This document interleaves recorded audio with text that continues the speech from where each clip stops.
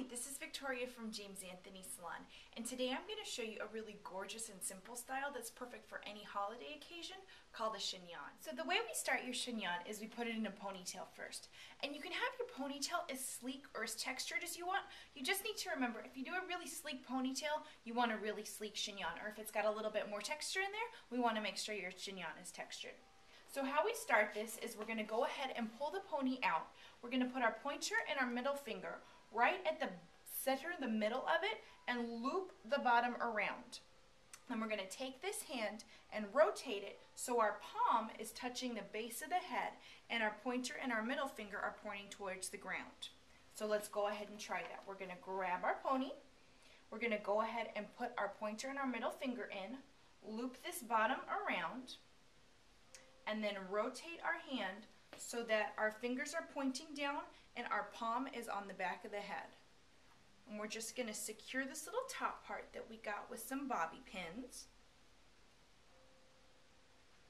Just one on each kind of top side of this will do.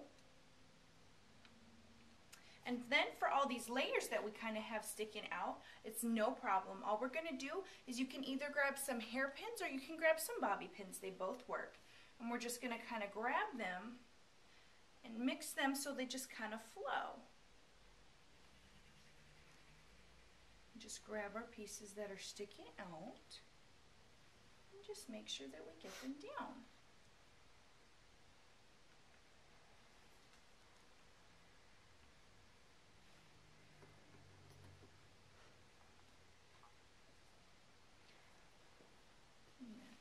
one more right here.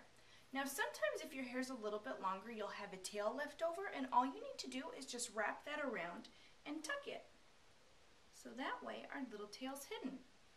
And there you go. So to finish this off, we're just gonna go ahead and make sure we get a good spray on there.